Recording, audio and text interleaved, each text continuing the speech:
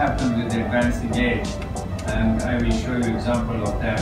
You can also correct that with the Botox. So, although for the layman, they only think that you can use Botox for these lines and around the eyes.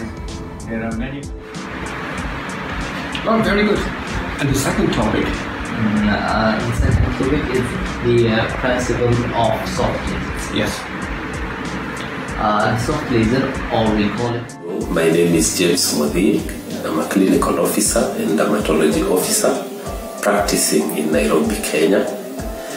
I've just completed my course in FAM at Ilamed Center. Uh, the course content is very good. It's extensive and they offer hands-on practical experience on every aesthetic procedure trained here. suggest that if you're trying to make a career in the field of cosmetology, then Ilamed is the place. First of all, because of the faculty which they have. Dr. Ajay Rana is very competent in the field of aesthetics, cosmetology, and hair transplant.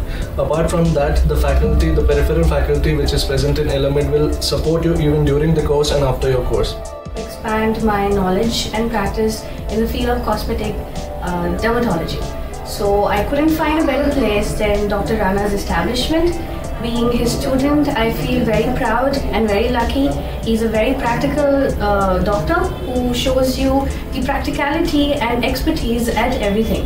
If there is any place you must go to learn and expand your knowledge on cosmetic dermatology or dentistry, as a matter of fact, Ilamed is the place.